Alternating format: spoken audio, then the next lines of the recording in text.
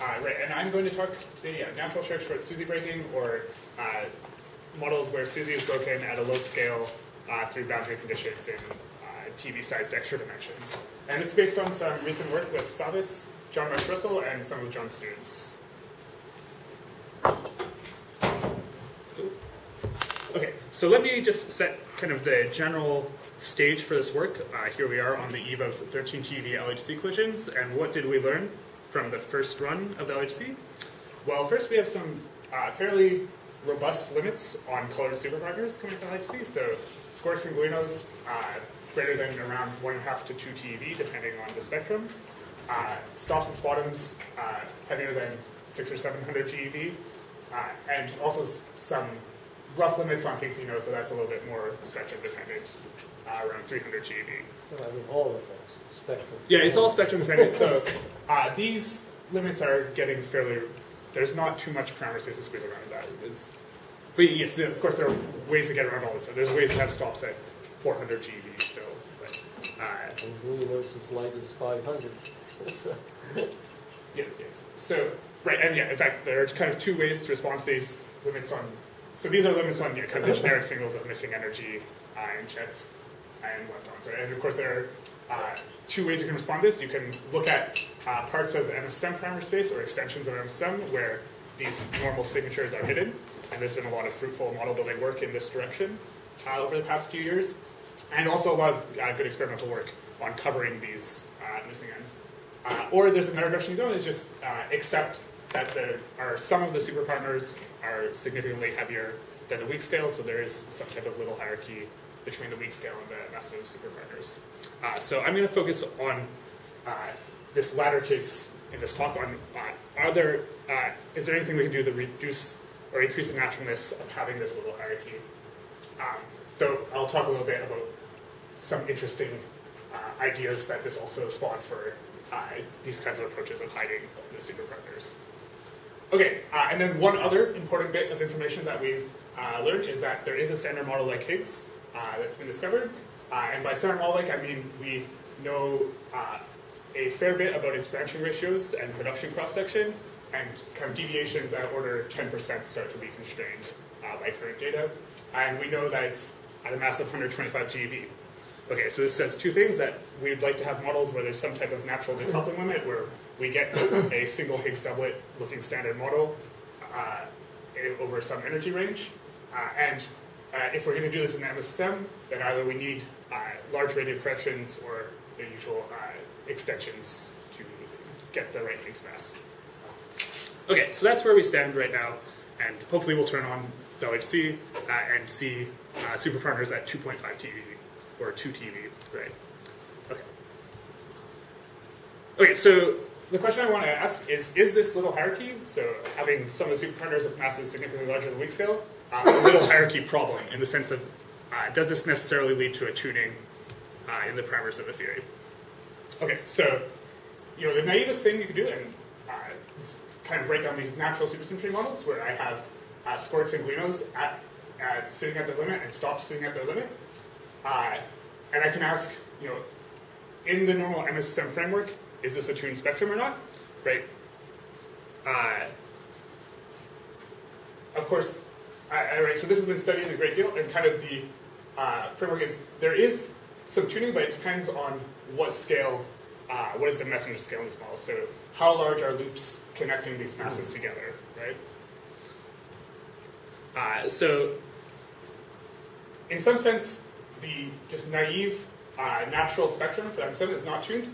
That if I put the messenger scale at a TeV, then the radiative corrections from gluinos and uh, from third generation squarks to Higgs uh, don't generate a Higgs potential where I have to tune the parameters. Okay. Uh, however, uh, we know that in uh, most models of uh, SUSY breaking mediation, so in the typical MSSM hidden sector plus messenger framework, we have a scale deviation that's greater than around 100 TeV, and then already uh, you get a tuning of around 10%. Uh, and in fact, if you look at how SUSY breaking is communicated in uh, greater detail in, a, in some realistic models, uh, it's you're looking at models that are mostly tuned to around a few percent level right now with these bounds. Okay, so that's the state in the MSSM. Uh, so, uh, what the models we'll look at today are uh, going to solve this problem primarily through taking the messenger scale and bringing it down to a TeV.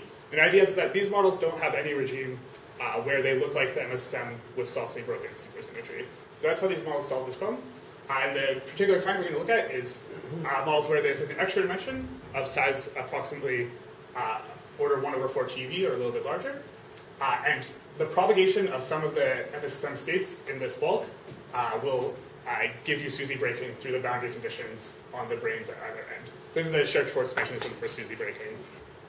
Uh, so in particular, uh, we'll like to do this natural spectrum, and having an extra-dimensional theory gives you a simple way to realize uh, separation of scales between different superpartner masses, right? So we can localize the third generation on one of the branes so that they don't propagate in the bulk.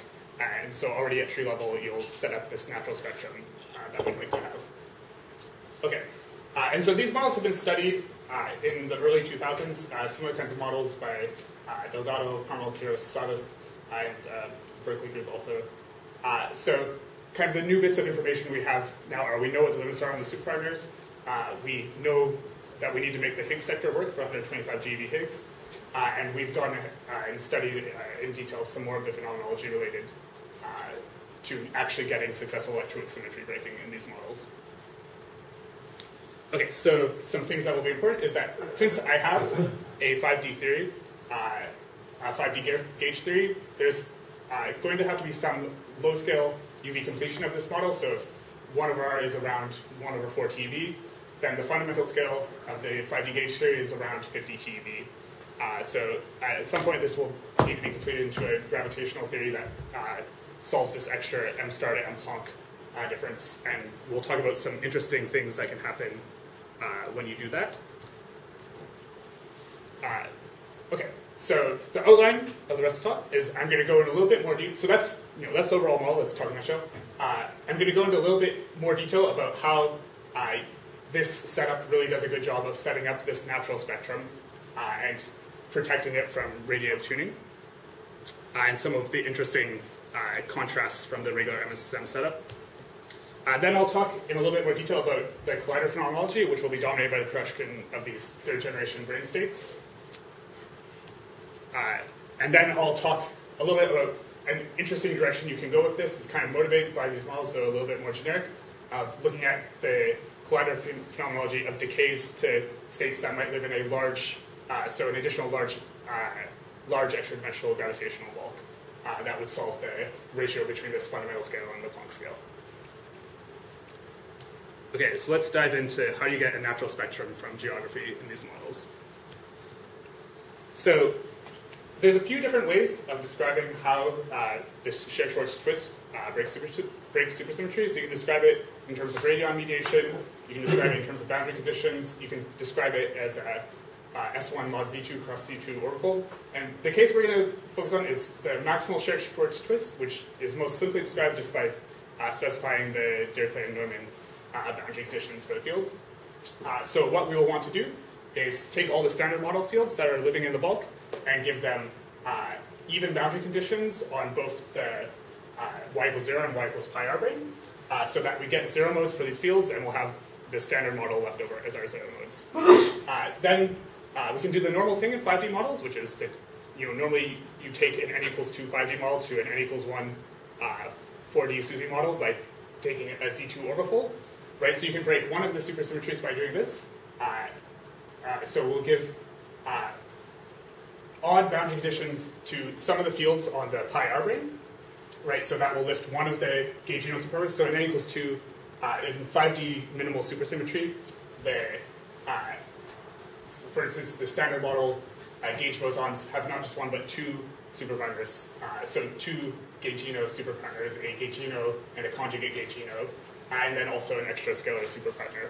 So we'll choose boundary conditions that lift all of these guys. So uh, boundary conditions at the pi r brane will lift one gaugino, uh, and boundary conditions at the zero brane uh, will lift the other gaugino, and then this scalar will be lifted by both. And then, of course, uh, in this 5D setup, there's a full KK tower for all of these states. Uh, which kind of boundary conditions are, are you using Dirichlet or Neumann on the? Uh, for, for which field?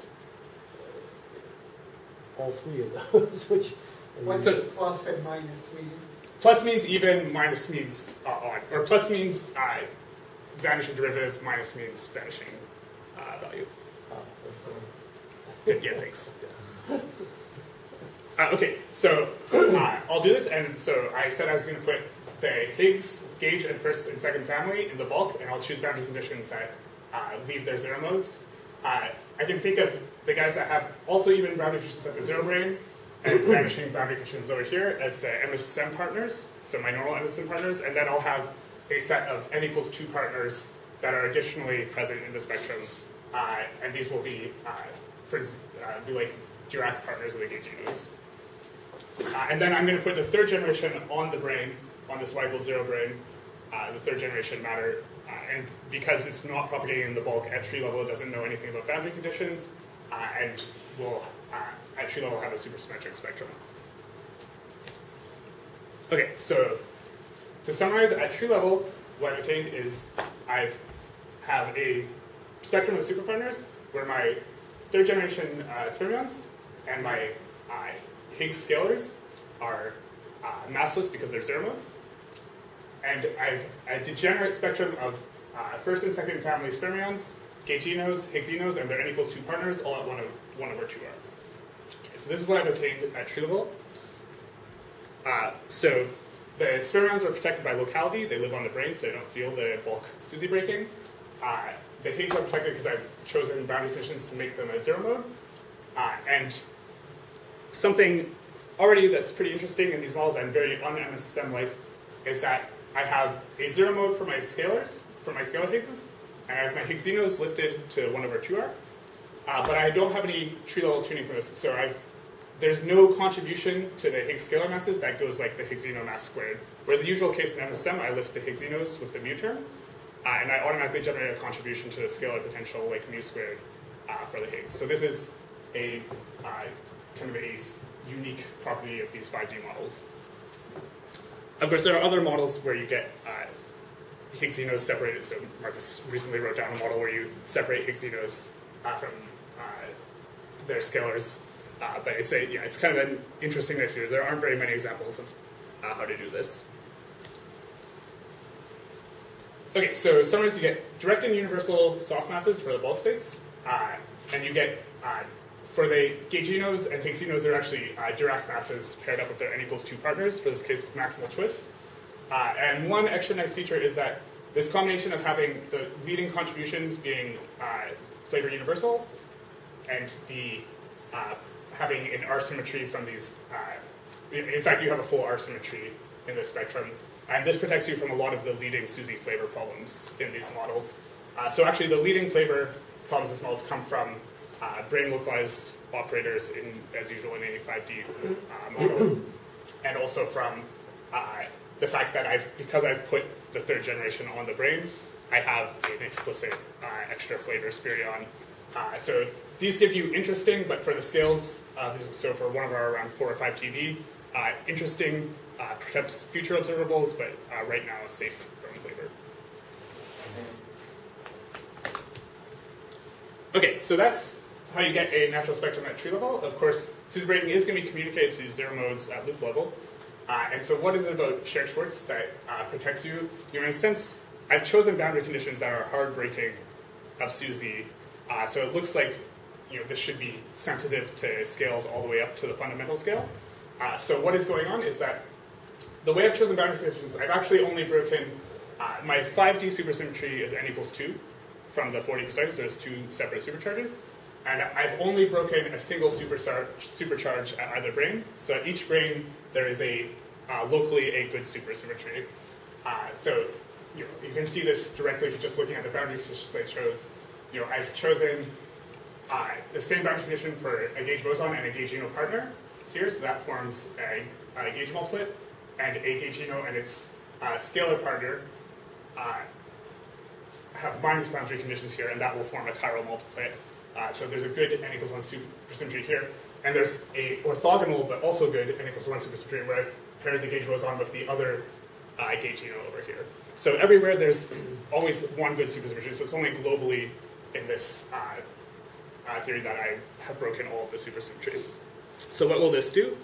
Well, when I'm looking at SUSY breaking loops, uh, loops that communicate SUSY breaking to zero modes will have to propagate from the y equals zero to the y equals pi r brane, and so they'll actually be exponentially suppressed uh, above uh, this scale 1 over r.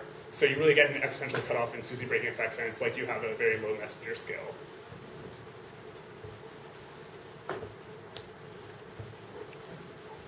Okay, uh, so then what will happen is I have uh, my fermions and Higgs zero modes massless at tree level. At one loop, the dominantly the gauginos will feed into uh, the mass of these, so I'll get a electroweak contribution from coupling to the bulk gauginos to Higgs zero modes, and I'll get dominantly an SU3 contribution uh, to the, uh, in particular I'm particularly caring about the stop and sbottom masses of the third generation states. Uh, right, and these uh, follow the similar kind of formula, and just to emphasize what you're winning here, uh, you know, if you look at the one loop uh, formulas for uh, super masses, you know, there'll be proportional gauge coupling squared, and you have this log of your messenger scale. For 100 TeV, there's a factor of 10. Uh, for gut scale, this is a factor of you know 50 to 100. Really, it's a running calculation. Uh, but the fundamental point is that this will be an order one factor. In fact, a little bit smaller than order one. So you gain. This is where you're winning and tuning in these multi-site. You just you don't have you only have a finite contribution uh, radially. So I will preserve my large tree level hierarchy. And so I will win in tuning by about a factor of 10 compared to you know my gauge mediation at 100 TeV. So can, can you say a little more about, sorry, just to be slow, but Yeah. uh, um, why the third generation is localized and the first two generations are in the bulk? What's the advantage of that? So the advantage is that you set up uh, a natural SUSY spectrum where the stops. Uh, so it's yeah, it's phenomenology driven that we have better limits on the first two generation uh, than we do on the third generation fermions. So my if I want to maximize tuning my naturalism model well, uh, being compatible with experimental limits, then I'm okay with making the first two generations heavy. Uh, and in fact, that helps me with experimental limits, but I want to keep the third generation uh, light and just above the lower bounds on that. It seems like you could have imagined doing it the other way around, right? I mean, uh, so the, the point is you're saying you want to separate the masses, right? The stops from the first two generation. Uh, Yeah, I want the stops to be at 700 GeV where that limit is, and the squarks and gluinos to be at 2 TeV where that You limit want to is. solve the little hierarchy problem, right? that, Yes. The stops are kept right. So, so, sorry, maybe this is a stupid question, but could you do it the other way around? Could you have put the stops in the bulk and had their, and had a, you know, could you, and then had the first two generations on the brane? Uh, you could do that, then you would have a very heavy stop. Uh, and Why? Isn't it's, oh, So, because, if the because stops it are- really is just set by the radius, right? yeah, So exactly. Yeah. So if the so stop, if you put the stops in bulk, super- then they get a massive one over two. Yeah, Okay. Well, there's so in folded SUSY, you put the stops in bulk and get around this in a, a different way, but that's a more elaborate model building exercise. So where are your, uh, I've lost track of the scales, uh, Mhm. where are your first uh, KK gravitons, and you have eventually graviton excitation? Yeah, so that will and depend forth? on the yeah that will depend on the UV completion for the gravity sector. Right. So if you do some type of little string theory or RS completion, uh, where there really is a regime where it looks like just a 5D gravitational theory, then the first KK modes are at 1 over R for the gravitational sector also. However, you might imagine doing something like a large extra dimension UV completion, uh, and then you'll have a, for just for the gravitational sector, so then you have a 5D brane world with a uh, gravitational states that could be at much lower scales. Uh, I'll talk a little bit about that actually. Okay, good. So summary is we're going to win in tuning by bringing uh, this fact that the loops, the Scherk-Schwarz uh, radius corrections are very soft because of locality and the fact that loops have to stretch all the way across the sector mentioned to communicate SUSY breaking uh, will win us a factor of uh, at least 10 uh, in tuning compared to uh, kind of more standard gauge mediation models. So even if you put a third generation in the bulk, can you make it light just picking the boundary condition to be? you know- If you make, yeah, if you make the third generation uh, fermion light, then you'll make the fermion heavy, and that we don't want to do. We, So we, we want to, because you, you want to, you always have to choose boundary conditions that keep as zero modes the standard model fields. Right, so you, yeah, if you extend the field, yeah, if you extend the field content model, then I can choose boundary conditions that do essentially what you said, and that that that gives you a full decision model. So you have to extend the uh, global symmetries of the model to do that. So you, you add extra states in the stop sector to do that.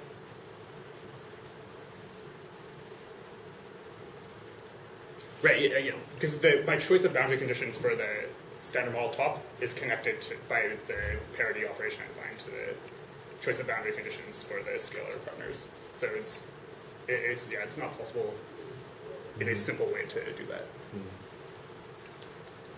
Okay, so to put in numbers, what does this win me? So when I look at uh, plug in numbers to these formulas, what I'll get is that there is a built-in hierarchy between the mass scale entering the Higgs potential, so soft masses uh, generated by coupling to the bulk gauginos for the Higgs, of a factor of 30 below the scale 1 over r. so this means that for the weak scale to be totally natural, 1 over r should be around 4 TeV. So where does the one over thirty come from? So that comes from uh, small log, loop factor, and gauge couplings. Good, okay. With sm- by small log, I mean it's really a finite factor when you do the calculation.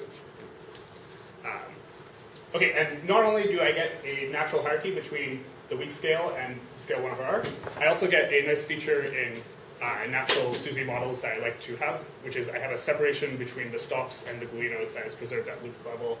Uh, so I get uh, that the stop, uh, the radially generated stop mass is one tenth one over r, or uh, one fifth of the tree level gluino mass that I have. So this is a feature that's pretty hard to maintain in any model where I have any running from messenger scale. Usually I have these uh, within a factor of two of each other.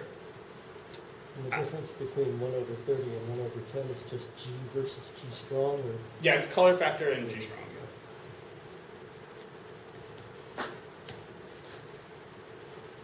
Okay, so I've told you what the overall scale for electroweak symmetry breaking should be, but there's the other question is, do I uh, actually get electroweak symmetry breaking these models? So right now what I've described is a single parameter model, just 1 over r, sets all of the scales and all of the particle masses.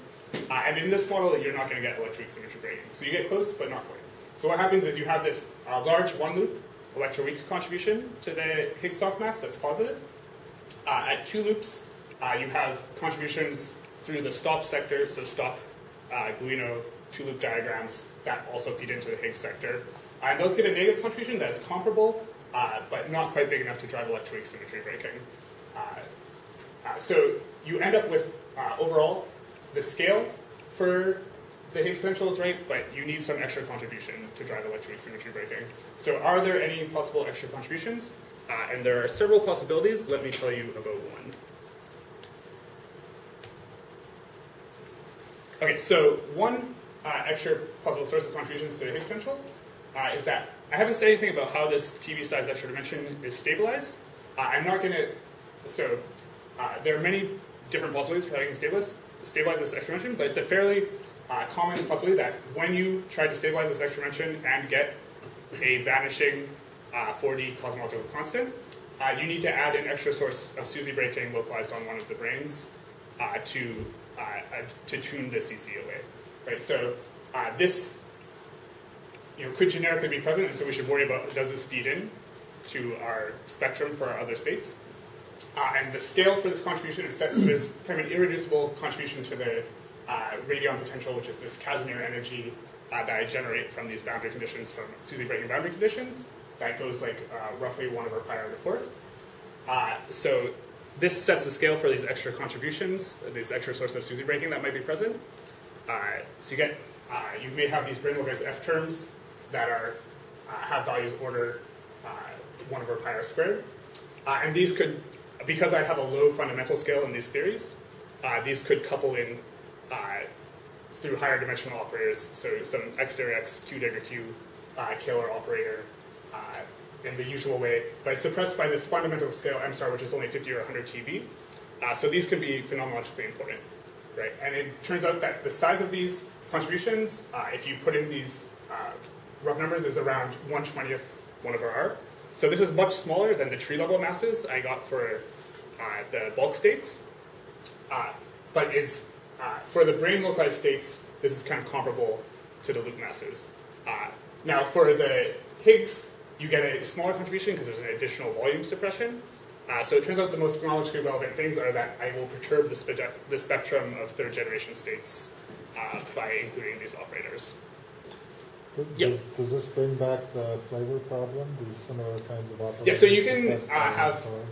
You can have uh, arbitrary flavor structure in these operators, and because uh, because you are uh, your dominant uh, contribution for the first two generations is a large value, and you have uh, an approximate R symmetry, uh, you're still safe with SUSY layer processes. Yeah, Like, and, what and does because one of ours, right, you have this quark's already fairly large universal mass, and this is a small perturbation on it for the first two generations.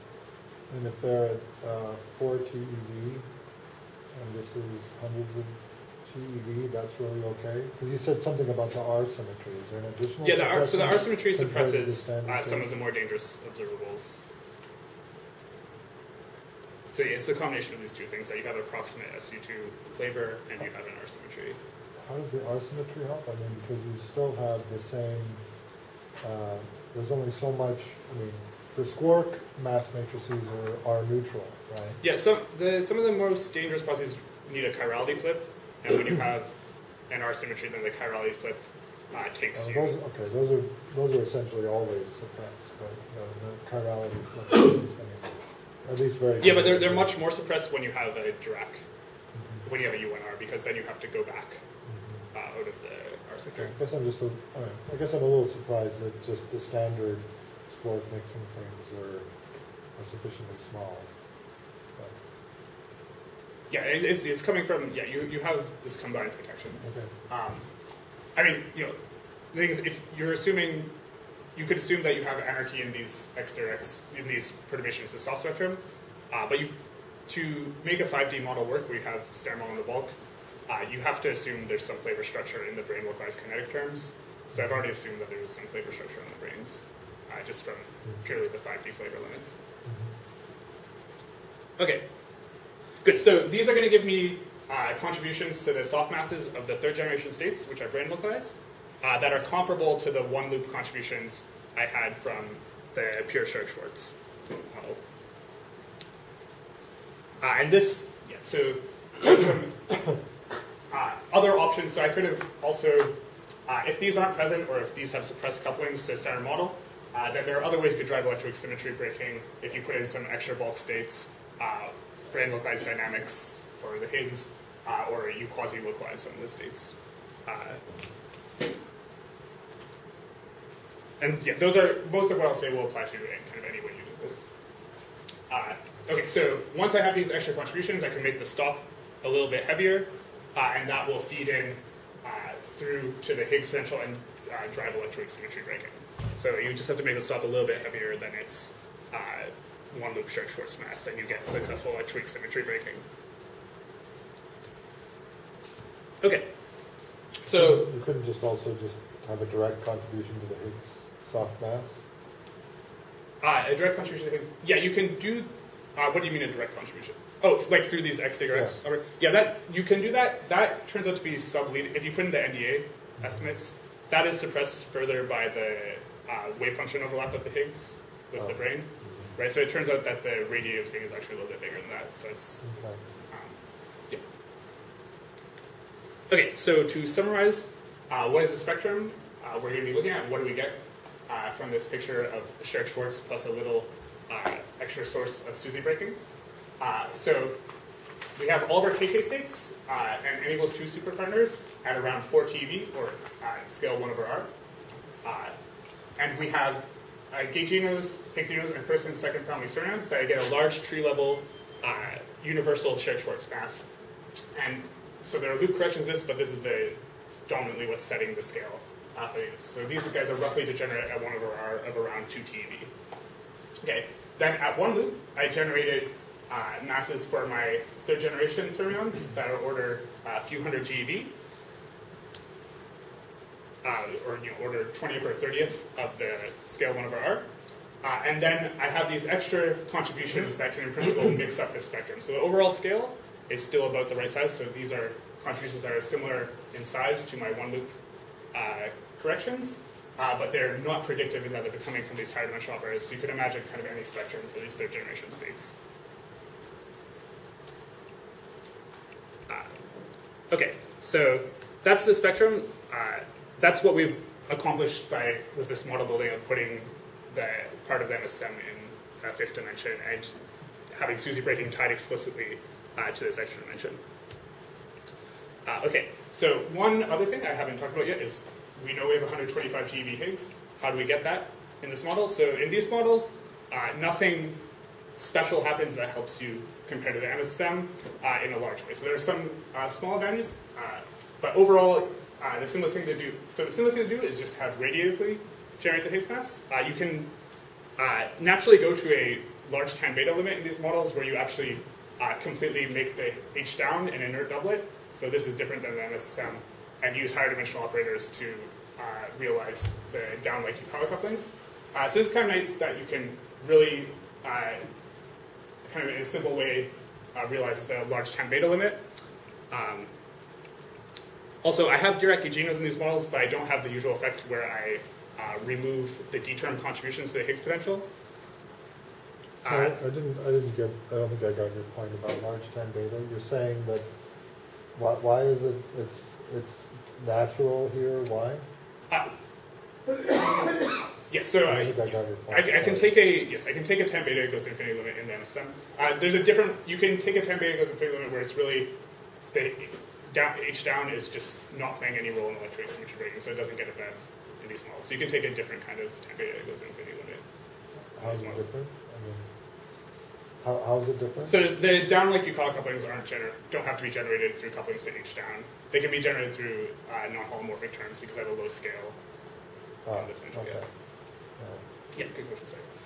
Uh, okay, and one other nice feature is that if you know if I just get the Higgs mass by making the stop heavy, then I will have comparably low tuning compared to other models in this model. Uh, but so, so I, from what you just said, would you then have rather non-standard model-like couplings to some of the quarks in this kind of? You would have non-MSSM-like couplings to some of the squarks. Only squarks, yeah, not yes. quarks? Not the yeah the quarks you is standard. Let's see, what's protecting the couplings here?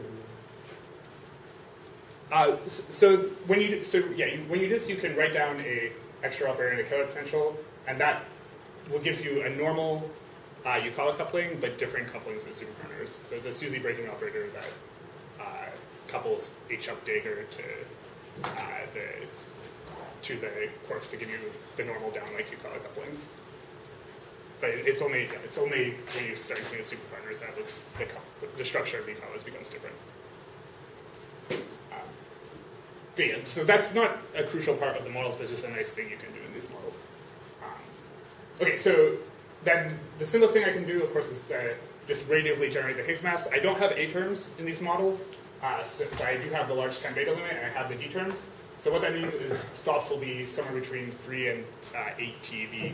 Uh, you have the usual uncertainty and Yukawa couplings and the higher order corrections uh, to get 125 GeV Higgs radiatively. Uh, or I have the other option that I can uh, do the usual MSSM solution to this problem of including some extended Higgs sector coupling to the Higgs to generate extra contributions. Uh, so singlet extension, vector-like matter, or gauge extensions. Uh, all of these end up giving you roughly, so we, we studied all these, uh, you end up not getting uh, significant extra contributions to the tuning. Of these models, so you do get extra contributions in the soft masses when you do these kinds of things, uh, but because we have uh, this low scale cutoff, it's also a nice feature that you can correct the Higgs quartic without generating new contributions to the soft masses in this model. So just to show you some results, I'll just focus on the case where you have a U1 prime extension and have non-decoupling D terms that lift the Higgs mass out to give you that extra little bit. What's the difference with D terms here? Why is it that they're retained? They're not. They're not so you have Dirac gauginos, but the uh, structure of these models is very different from the normal uh, super soft Yeah. construction. Yeah, so you, you get a you get a soft mass for the adjoints that would adjust to cancel the d terms uh, without getting a, you you get a soft mass for them, but it doesn't feed in uh, radiatively with a large value to the exponential. So you kind of solve that tension, I see. and it yeah, and you don't. It kind of happens all at once. Is maybe the nice thing about these models. Okay. Good. So uh, let me show you some results finally. Uh, so on this plot, I have the scale 1 over r for the model I've been describing in TeV, uh, the mass of the z prime that's associated with this extra u1 in a model where I fix up the Higgs mass with a non-decoupling d term. Uh, I have dashed lines are contours of the stop mass, so uh, this is around 700 GeV.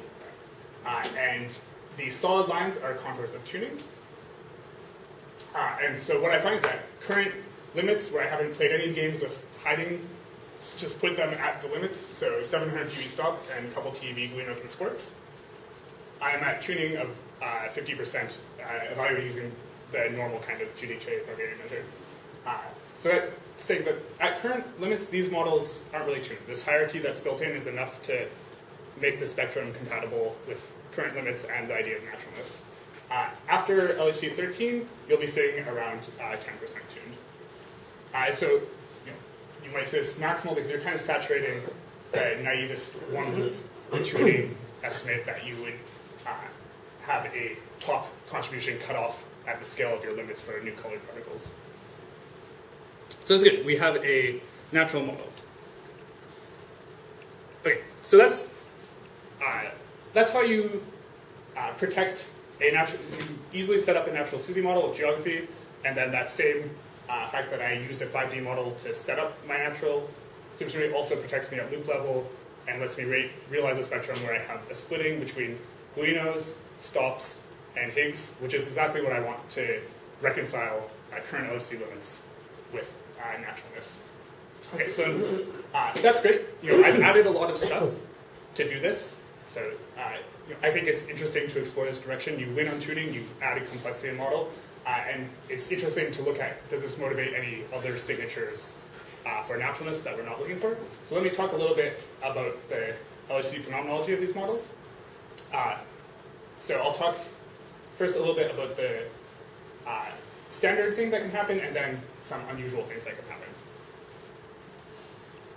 Okay, so uh, just to summarize the crucial features of the spectrum, uh, I'm going to be, because the gluinos, neutrinos, Higgsinos are all heavy, around three to five times the stop mass, uh, I'm not going to worry about them. I'm just going to worry about the color production of the uh, third generation fermions. Uh, an important feature of these models is that there doesn't have to be a Higgsino in this low energy spectrum, right? Because the Higgsino uh, was able to naturally be lifted to the scale one two, one over r. Uh, so that's nice. That kind of, you know, in any other MSSM motivated natural SUSY spectrum, you would have a Higgsino playing an important role in the decays uh, that are happening of these third generation states. Okay, and then I haven't told you what the LSP is yet. There's a few different options. Uh, so, uh, simplest possibility is that, at least on collider scales, the left-handed. I just ask a question about the Higgsino? In the normal formula for mz squared, there's always this Higgsino mass squared Yeah, the mu squared, yes. in it, right? Mhm. Uh, So what corrects, what is the correction to that formula that allows you to make u squared large and Yeah, so good. So automatically get mz squared? Where does it come from? yeah, so for, so it's technically natural to just take that mu squared term and cancel it with a B mu or soft mass term. Uh, it turns out in these models that the point where that happens has an enhanced symmetry. So you have an extra R symmetry and an extra U1 Higgs symmetry at that point. So it's a special value of parameters when you write it in that language. And how this shows up in the boundary condition language is that I've just chosen a set of simple boundary conditions that gives me a relationship between those two parameters. Right? But yeah, I would say, yeah, you would be worried that this is a tuning, but I, it's because there's an extra symmetry of the model at this point. It's uh, there's a a moral reason why you have this relationship at the scale one over r between the mu term and the soft terms. Right. It's like, okay, so let's talk about what the LSP might be. Uh, so simplest possibility is that uh, it's only really only these third generation brane locate states that are rel- relevant for collider phenomenology. Uh, then you might have, you know, a simple example would be this neutrino, uh, third generation neutrinos, the LSP. So this is one possibility. Uh, another possibility is that this, so the Goldstino of the Scherk-Schwarz SUSY breaking, or the radionino, uh, radionino, is uh, eaten by gravitino, it gets mass 1 over 2r. But when you have an extra uh, source of localized SUSY breaking, you can get a pseudo Goldstino, so you can have a light neutral state associated with this uh, in these models. So that's another possibility. And that actually gives, ends up giving you phenomenology that's uh, fairly similar to just kind of vanilla natural SUSY models. Uh, and then a third possibility is that I complete the gravity silence theory with a large extra dimensions theory, where the extra dimensions are relevant on collider scales. Uh, and then my LSP can uh, generically be a bulk state, uh, and I can be sufficiently strongly coupled that the lightest third generation state on the brane decays to this bulk state. And that has some very interesting phenomenology. Okay, so let me talk about this vanilla case really quick. Uh, so here you just, you really just decay, you know, the stop will decay directly to the top, and this light partner that's uh, has a mass scale uh, effectively in the massless region of the, of the plots. So this is kind of the version of model where the normal SUSY limits apply directly, the normal natural SUSY limits apply directly. Uh, and of course, you know, there are other decays that can happen, but these have a uh, fairly small branching fraction in this, in this part of parameter space. Okay.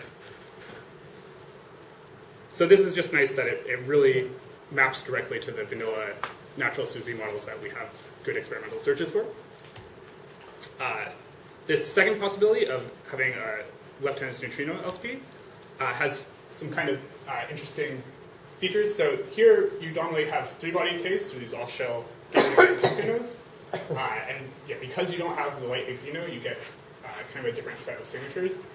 Uh, so, uh, and imperially you'll get three-body decays. For instance, the stop will go to the top and neutrinos neutrino, or stop will go to bottom Taos neutrino. Uh, so you, you, have these final states that are at tau and B rich uh, and can have reduced missing energy because I either have many because I have many particles uh, basically in the final state. Uh, so this can uh, reduce uh, limits from kind of your naive 700 GeV for superpartners, and we're studying a little bit how much the limits are reduced in these, and if there's any better way to look for these to cover these tau and B final states. Okay, so that's something that's not really motivated in the normal uh, natural SUSY picture. Uh, okay, and then the final uh, interesting thing I'd like to talk about is what happens if I decay to some bulk gravitational states. Okay, so uh, this is kind of a picture that I have my 5D brane with a scale uh, of 1 over a TeV that my 5D Scherk-Schwarz model lives on, and I have a large uh, extra bulk with size I want it to be relative, relevant to colliders, so uh, inverse size less than around 10 GeV. Uh, and the, this 5D model I've been discussing so far is just localized on this brane. And it's only the gravitational or maybe some extra bulk states that propagate the side of it. Okay, and in fact, this is uh, maybe a little bit more generic than just uh, this Scherk-Schwarz model, but you can imagine uh, completing any MSSM 4D MSSM model to at some scale to a theory where gravity propagates in large extra dimensions. So I can imagine MSSM is on a, some effective three brane in a large extra dimensional bulk. Okay, uh, so uh, you know generically there will be bulk states. So there's a definitely a bulk gravitino in these models, and then there might be other states of axino or photino. Uh, and if so, SUSY breaking has to be close to the MSSM brane, but it doesn't have to spread throughout this entire large gravitational bulk. So if it does not, then the bulk states will generically stay light uh, because they can propagate far away from the loca location of SUSY breaking. So generically, the LSP will be one of these bulk states. Uh, and so if we have conserved R parity, all of my brane localized states are eventually, so all my MSSM states are eventually going to decay to one of these bulk states. Okay, so why is this interesting? Uh, so if I look at it from the KK picture and just look at the spectrum of these bulk states, uh, they're going to have a very small mass from SUSY breaking, so let me just uh, ignore that for the moment.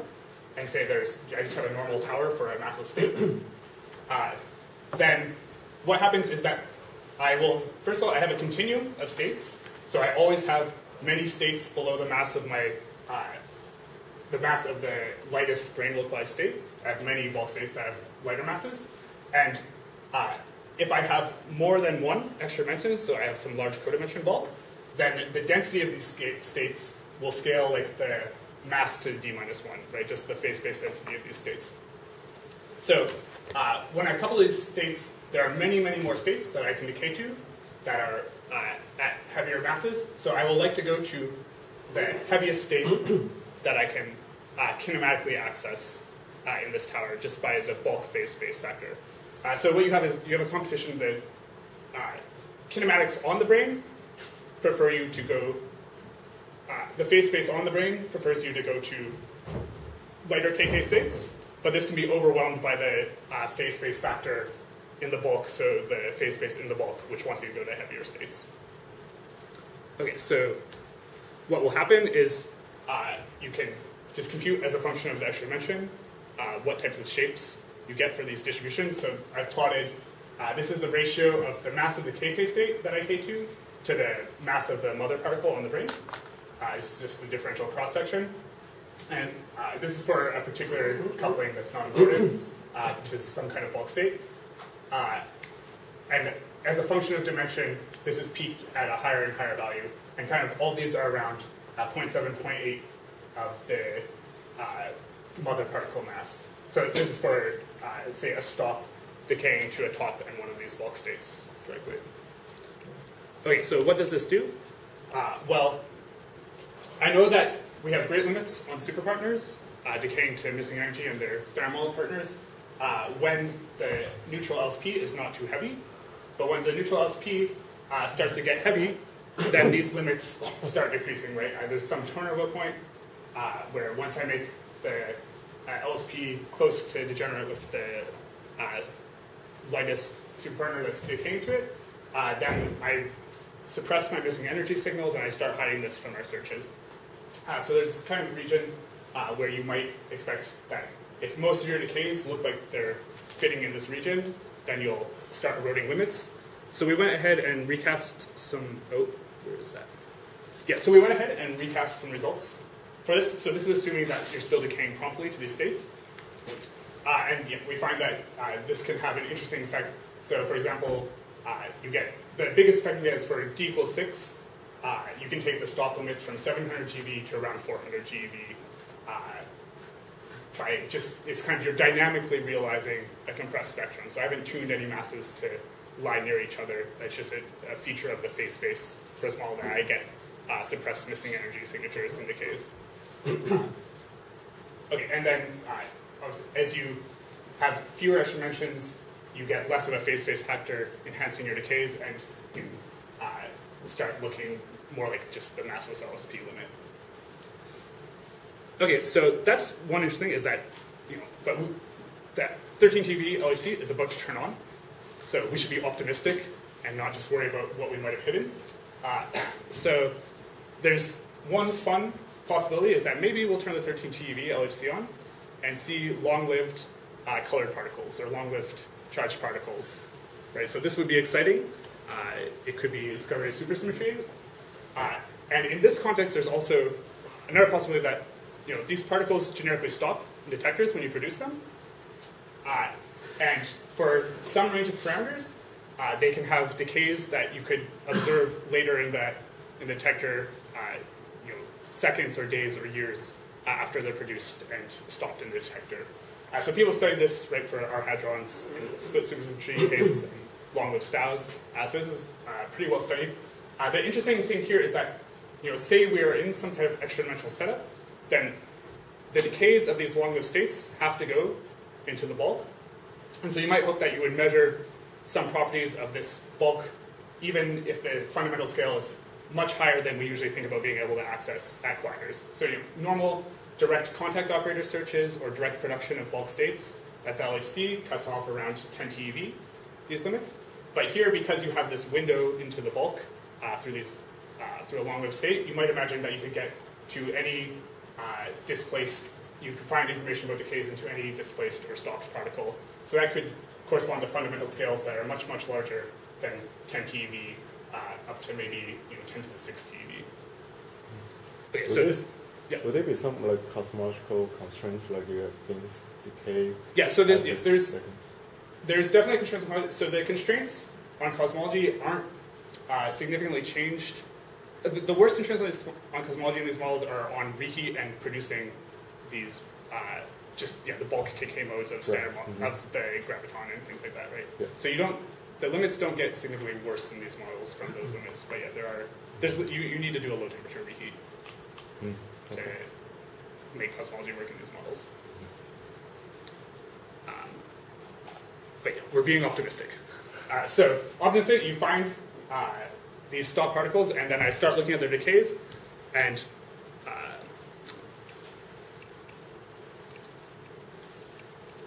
right, and I so you can imagine people have proposals for you might be able to build uh, stopper detectors uh, or uh, special do special uh, late vertex searches, or even uh, find kinematic information about decays in the detector. So it might be that you can actually reconstruct some of this information about these decays, and so this would give you an interesting probe.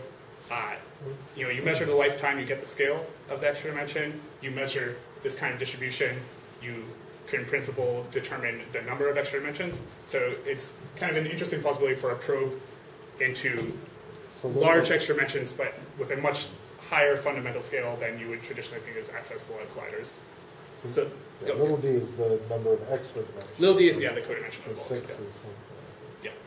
I thought the information here is they are all pretty close to each other. So, so, so you say we might be able, of course, optimistically. Yes, all, yes, yeah. I mean, there, there's there's information. Yeah, there's information about the structure of the extra in these, and they are different from each other. Uh, uh, you yeah, you can also these shapes change also if you change the couplings of so depending on which bulk state you're coupling to. Um, so yeah, uh, you, the information is there. The question is whether you can. It depends on how lucky you are, whether you uh, collect enough of these, and how well you can build a detector. to See it. But this is this is the most optimistic result I can imagine uh, for this kind of model. Is that we turn on the LHC, find uh, charged stable particles, discover supersymmetry, and then probe a large extra dimension with a fundamental scale of 10 to the 8 TeV. So everyone hold your breath and wait for this to happen. Uh, okay, so let me conclude. Uh, so basic idea for these models is they're motivated by reconciling the experimental little hierarchy, just that we've observed that stops need to be heavier than 700 GeV unless I play tricks to hide them. Uh, and gluinos need to be pretty heavy also. Uh, so rec- reconciling that with naturalness, and we studied of models where SUSY breaking uh, is communicated to uh, the gauge Higgs and first and second generation superpartners uh, because of the propagation through a TeV-sized bulk. So this had a nice feature that uh, locality let us set up a tree level a natural spectrum, and then also protected us uh, at loop level. So we really maintain this large natural hierarchy and scales in the theory. Uh, then we had to do the normal tricks to get 125 GeV Higgs, of course.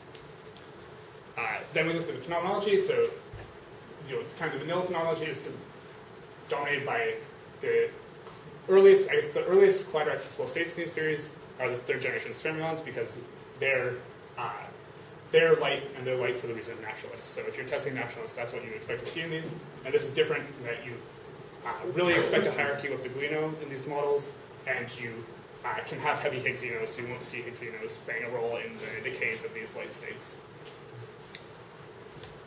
Uh, and then finally, uh, thinking about this kind of extra-dimensional setup uh, also motivates me to think about uh, different contexts where you have large gravitational dimensions and you conserve that periodicity of interesting new possible signatures and uh, mechanisms for hiding superpartners with a dynamical compressed spectrum uh, through decaying to these gravitational bulks. Okay, so uh, soon we will finish our longer version of our paper on all of this, uh, and there's some more details about uh, different ways of getting the Higgs mass. Uh, another one of uh, students is working on unification in these models, uh, and there's maybe some interesting future work you can vary which spectra. Uh, from a phenomenological point of view, it's kind of interesting to look at putting different sets of particles on the branes in bulk and seeing if that motivates any different signatures. Uh, okay, thank you.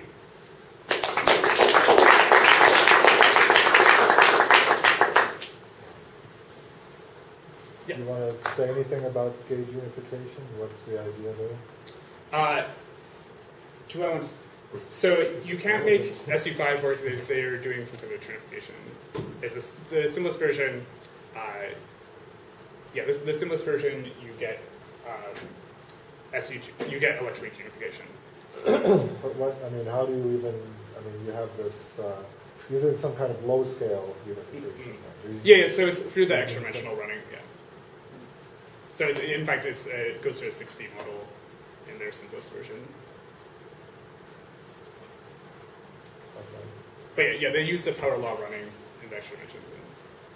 And, and then, the t- yeah, you don't get, of course, you, this normal thing. So you have, because you have supersymmetry, right, you have a hierarchy in scale, so the fundamental scale is far away from 1 over r, but you still have the, uh, you know, the, you have the brane localized operators uh, I that, mean, I thought, pow- I mean, power law running is threshold correction, so it's Yes, not yeah. really calculable, so. yeah, so uh, if you can, yeah, if so you you're complete, losing, you're not, you're not, when you say, I mean, there are two senses of unification. One is that just the UV sense that you're compatible with some gut.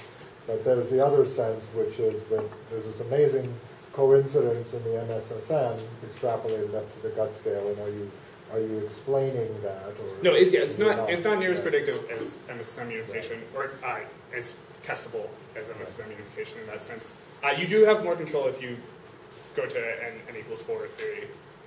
Uh, so I, th- I think, uh, so I'm not actually, I'm not working on this, but I think their story is that you go to a 60 n equals 4 in the end, and that gives you a little bit more control.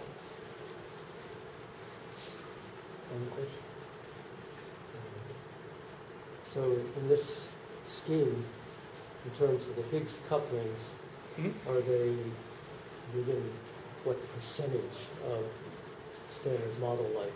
Are they all extremely standard model? yeah, I don't think you would, uh, because you don't have large A terms in this model, and you don't have very light states, you don't expect very large loop corrections. So I, I don't think it would be within. I, I, yeah, I don't think you expect corrections, and you, you can easily, uh, you can really decouple the extra MSSM Higgs states without affecting the tuning. Uh, so, yeah, yeah, I don't think you expect multiple deviations at LHC. Do you have any, any favorite uh, dark matter stories in these models? No, cosmology is complicated in these. Well, cosmology is complicated if you believe in the large extra dimension UV completion. Uh, if you are want to do something like a little string theory UV completion, something that doesn't have large extra dimensions that are going to be relevant for cosmology, uh, then the simplest dark matter is actually the H down can be an inert Higgs doublet dark matter, and that can work. Um, So in this extreme tan beta, so H down, so you have to, yeah, you have to have no Yukawa coupling. But you don't, yeah. So you, you actually, you can have a U one H down or a or a discrete symmetry protecting the H down. Do you even need H down in this model? Did you Uh, it you, yeah. So if you remove H down, then you uh, then you generate uh, these brane localized uh, Fayet-Iliopoulos terms that give you. Uh, so yeah, you generate these UV sensitive localized Fayet-Iliopoulos terms that are uh, generate a parity odd mass for the Higgs. Uh, so no, you can't. Yeah, it wrecks things.